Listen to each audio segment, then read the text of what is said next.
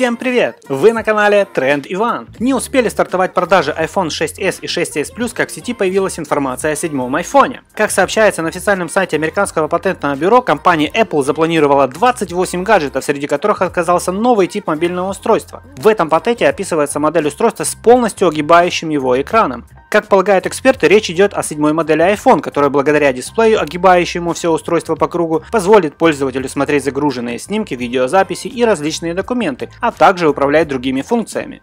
Известно, что корпус нового яблочного смартфона станет более надежным, чем у предыдущих моделей. Он будет пыленепроницаемый, влагозащищенным и ударопрочным.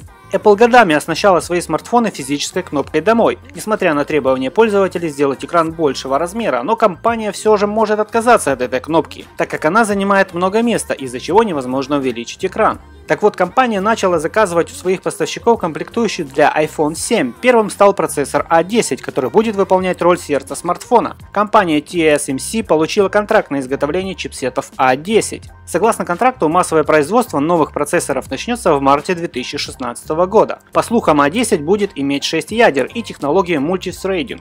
Шестиядерный процессор для iPhone 7 звучит как-то круто, но вряд ли Apple сделает такой резкий скачок от двух ядер до 6, минуя 4. Ну а если Apple и ведет разработки в области шестиядерных процессоров, то выйдут они не раньше 2017 года. Идем дальше. Как вам такая новость? Apple откажется от обычного входа для наушников. Американский производитель известен тем, что каждые несколько лет меняет коннекторы на своих устройствах, вызывая среди фанатов ярость, так как они вынуждены приобретать новые аксессуары. Кажется, что Apple объявила войну 3,5 мм разъемам, которые на данный момент используются на большинстве наушников. Они запатентировали особый D-образный разъем для наушников толщина которого позволит разработчикам сделать следующий iPhone и iPad еще тоньше. eSIM. Новый iPhone 7 обойдется без сим-карты. Как пишет агентство Financial Times, уже в 2016 году Apple, а также другие производители мобильных телефонов откажутся от внешних сим-карт в пользу встроенных универсальных цифровых аналогов eSIM. В цифровых сим-картах можно будет на лету переключать сотовых операторов для удобной пользователю тарификации, а также для хорошего качества связи. Многие эксперты предполагают, что технология eSIM будет внедрена в новое поколение смартфонов.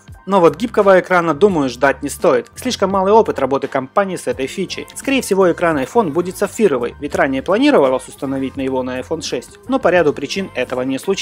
Также утверждается, что Apple откажется от использования алюминия в качестве материала корпуса. Правда, чем именно она его заменит, не сообщается, хотя и присутствуют намеки на тот самый жидкий металл, разговоры о котором ведутся уже несколько лет. Ну как вам, понравилось? Надеюсь, что-то из этого будет воплощено в реальность. Так что будьте с нами, будьте в тренде. А с вами был Иван, ставьте лайки, пишите комментарии, подписывайтесь на мой канал и смотрите следующее видео.